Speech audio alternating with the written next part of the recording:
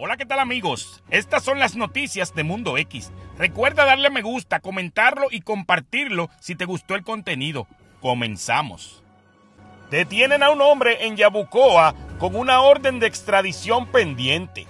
Agentes del negociado de arrestos y extradiciones del área de San Juan lograron la captura de Javier Figueroa Castro, un hombre de 37 años y residente en Yabucoa, quien era buscado bajo una orden de arresto sin derecho a fianza con extradición pendiente. Figueroa Castro fue presentado ante la juez Rebeca Vera del Tribunal de San Juan, donde se le leyeron las advertencias correspondientes, antes de ser trasladado a la institución correccional en Bayamón, donde permanecerá bajo custodia. El operativo fue llevado a cabo por el agente Roberto Negrón, bajo la supervisión de la sargento Luana Colón, quienes lograron ejecutar la orden con éxito. Se sigue investigando el caso. Encuentran el cuerpo del instructor que intentó rescatar a su esposa en Ponce mientras practicaban deportes extremos. Las autoridades confirmaron la localización del cuerpo de José Manuel Aufán Colón, un abogado y experto en rappelling, quien desapareció tras lanzarse a las aguas del cañón El Prieto en Ponce para intentar salvar a su esposa. El hallazgo se produjo más de 24 horas después del trágico incidente. Con esta confirmación se da por fallecida a la pareja, ya que en la madrugada se había encontrado el cuerpo de su esposa, Yasmín Marie Salgado Bailey, colgando de una cuerda. Hasta el momento las autoridades no han revelado detalles sobre el lugar exacto ni las circunstancias del hallazgo del cuerpo de Aufán Colón, el abogado. Los rescatistas se preparan para descender y recuperar el cuerpo del cañón. Nino Correa, director del negociado de manejo de emergencias y administración de desastres, había anticipado cerca de las 11 a.m. que el cuerpo podría encontrarse sumergido en una de las cascadas de la zona. Aufán Colón, de 39 años, y su esposa de 30 eran conocidos por su pasión por el escalamiento y las aventuras extremas. Juntos administraban la página Aventura Salvaje Puerto Rico, donde compartían sus experiencias y animaban a otros a unirse a actividades llenas de adrenalina. El trágico incidente ocurrió cuando la pareja, acompañada por otro participante de rappelling, Héctor Pastrana Vázquez, disfrutaba del río Prieto en el sector Hogar Seguro del barrio La Carmelita. En un desafortunado momento, la esposa Salgado Bailey sufrió una caída, lo que llevó a su esposo a lanzarse en un intento desesperado por salvarla, muriendo ambos. Es una pena que estos jóvenes perdieran la vida de esta manera, pero así es la vida y así son los deportes extremos. Que Dios los haya perdonado y fuerza para la familia. Se sigue investigando el caso. Fallece joven en trágico accidente vehicular en Naranjito. La madrugada de este lunes se tiñó de luto en Naranjito tras un fatal accidente registrado en el kilómetro 4.8 de la carretera PR 811 en el barrio Lomas Valles. El incidente que ocurrió en plena oscuridad de la noche dejó como un saldo la pérdida de la vida de un joven de apenas 21 años. Todo comenzó cuando el sistema de emergencias 911 recibió una llamada reportando un vehículo volcado en la mencionada carretera. Los primeros en llegar a la escena fueron los agentes de la policía quienes encontraron una Nissan Pathfinder del año 2003 color vino completamente volcada a un costado de la vía. Según la investigación preliminar, el conductor del vehículo fue identificado como Edgardo Nieves Arce, Nieves Arce, que manejaba en dirección sur a norte, habría perdido el control del vehículo impactando violentamente un árbol al borde de la carretera. La fuerza del impacto provocó que el vehículo se volcara y que el conductor saliera expulsado del mismo. Poco después, los paramédicos Rivera y Díaz, pertenecientes a Emergencias Médicas Municipal, llegaron al lugar para evaluar la situación. Sin embargo, solo pudieron constatar la ausencia de signos vitales en el joven, certificando su fallecimiento en el lugar del accidente. La investigación quedó a mano del agente Luis Cruz, adscrito a la División de Patrullas de Carreteras de Bayamón, quien trabajó junto al fiscal de turno para esclarecer las causas del trágico suceso. Este incidente ha conmocionado a la comunidad de Naranjito, que lamenta la pérdida de una vida tan joven en circunstancias tan desafortunadas. Las autoridades han hecho un llamado a la precaución en las carreteras, especialmente durante la noche. Se sigue investigando el caso. Presentan cargos a dos hombres y una mujer por doble asesinato en Jayuya. Acusados tienen entre 20 y 25 años. En la tarde de ayer lunes, agentes de la División de Homicidios y la División de Delitos Sexuales y Maltrato de Menores del 6C de junto con el Departamento de Justicia, radicaron cargos criminales contra dos hombres y una mujer vinculados al doble asesinato ocurrido en Jayuya el pasado viernes 13 de septiembre. El macabro hallazgo se produjo en la madrugada del viernes en una residencia ubicada en la calle Libertad número 13, donde la policía encontró los cuerpos sin vida de dos hombres, ambos con múltiples heridas de bala. Las víctimas fueron identificadas como José Santiago Plaza de 45 años y Felipe Más Más de 62.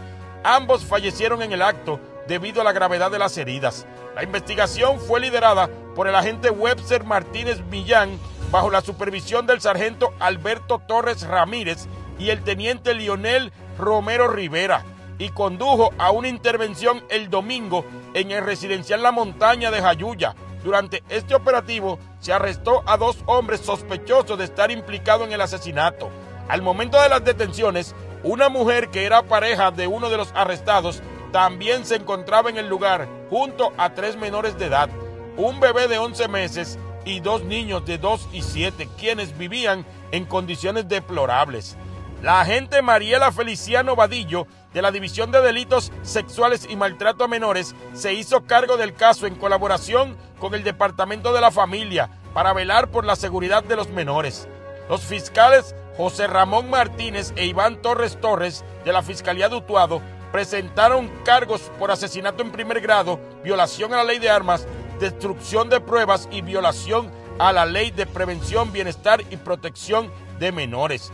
Los imputados fueron identificados como Javier Morales García, alias Chompi, de 20 años, y Edgar Rivera, de 24. Ambos enfrentan cargos por asesinato y otro delito relacionado. Por otro lado, Keisla Marín Torres, de 25 años, conocida como Nani, enfrenta cargos por maltrato de menores los jueces Rafael Pérez Medina y Melissa Santiago Núñez del Tribunal de Utuado encontraron causa probable para todos los cargos presentados. La fianza impuesta de los dos hombres asciende a 2.800.000 dólares y ambos fueron ingresados en la cárcel Las Cucharas en Ponce, en espera de la vista preliminar programada para el 26 de septiembre. Por su parte, Keishla Marín recibió una fianza de 70 mil dólares y fue trasladada a la cárcel de Bayamón, sección mujeres, ya que no pudo pagar la fianza y con una vista preliminar pautada para el 25 de septiembre. Es una pena. Cometieron el asesinato el viernes y ya están capturados. ¿Por qué no mejor piensan las cosas? Ya que no tienen ni un plan de escape. Siempre los capturan. Vamos a trabajar, mi gente. Vamos a dejar de delinquir. La delincuencia no lleva a ningún lado. Se sigue investigando el caso. La policía detiene a varias personas por posesión de drogas controladas en operativos en San Juan. Durante la tarde de ayer, lunes, la División de Drogas Metropolitana, en conjunto con la División de Drogas de Caguas, llevaron a cabo un operativo en San Juan como parte de las acciones del Plan 100 por 35. Este esfuerzo dio como resultado varios arrestos y la incautación de múltiples sustancias controladas en diferentes puntos de la ciudad.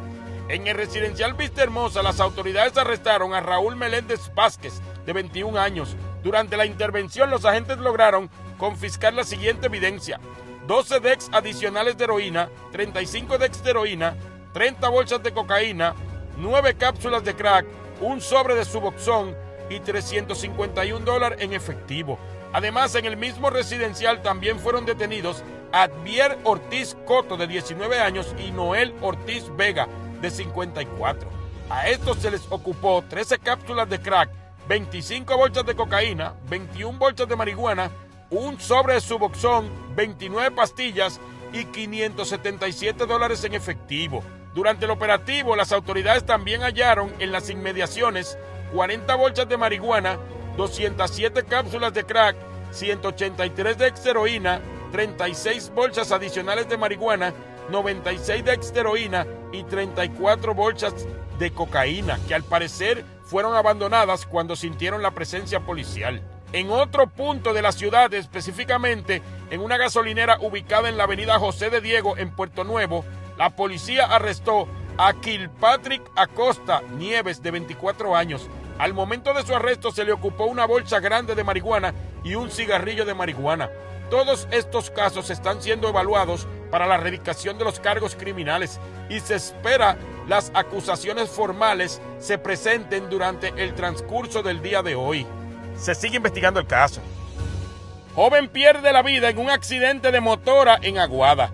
La madrugada del día de ayer, a eso de las 12 y 10 am, se registró un trágico accidente en la carretera PR 115 en el barrio Pueblo del municipio de Aguada, que dejó como saldo la muerte de un joven motociclista. El personal de la División de Patrullas de Carreteras de Aguadilla, adscrito al negociado de la Policía de Puerto Rico, acudió al lugar para investigar el fatal suceso. El incidente ocurrió cuando Kevin Ibáñez Guzmán, de 33 años y residente de Moca, conducía una motora tipo scooter color azul en dirección de oeste a este, a la altura del kilómetro 23.4 y por razones que aún se encuentra bajo investigación, Ibáñez perdió el control del vehículo e impactó contra un muro de cemento. Los paramédicos de emergencias estatales acudieron rápidamente al lugar del accidente y trasladaron al joven al hospital más cercano, donde lamentablemente el médico de turno certificó su muerte debido a las graves heridas que sufrió por el impacto. El agente Nolvín Lorenzo Chaparro, bajo la supervisión del sargento Roberto Cortés, se presentó en la escena junto al fiscal Rivera Loperena y al agente Acevedo del equipo de servicios técnicos como parte del proceso investigativo. Se tomaron fotografías y medidas del lugar, además de que la motora fue confiscada para realizar los análisis periciales correspondientes. Es una pena, pero las motoras son un peligro y la juventud no quiere entenderlo. Se sigue investigando el caso. Abuela reporta la desaparición de su nieto de 16 años en Moca. Las autoridades del negociado de la Policía de Puerto Rico, a través de la sección de personas desaparecidas del 6C de Aguadilla, investigan la desaparición de Christopher Joel Pérez Talavera, un joven de 16 años y residente en el barrio Cruz de Moca. Su abuela paterna y tutora legal, Rosa Román Acevedo, informó que el adolescente salió de su hogar el pasado viernes 6 de septiembre de este año alrededor de las 10 y media de la mañana y desde entonces no ha regresado. Hasta el momento se desconoce su paradero. La señora Román describió a su nieto como un joven de tez blanca con una estatura de 6 pies, cabello negro, ojos marrones y un peso aproximado de 165 libras. Además mencionó que el adolescente tiene un tatuaje visible en el área del cuello. En el momento de su desaparición, Christopher vestía una camiseta azul, pantalón corto y chanclas negras. La abuela ha autorizado a la policía y a los medios de comunicación a difundir esta información con la esperanza de que alguien pueda ayudar a localizar a su nieto. El caso está siendo investigado por el agente Alejandro Vélez de la sección de personas desaparecidas bajo la supervisión del sargento Héctor Vélez y el teniente Orlando Adames. Cualquier información sobre el paradero de Christopher puede ser comunicada al teléfono 787-934-5669 y es totalmente confidencial. Se sigue investigando el caso. Te informó Mundo X News.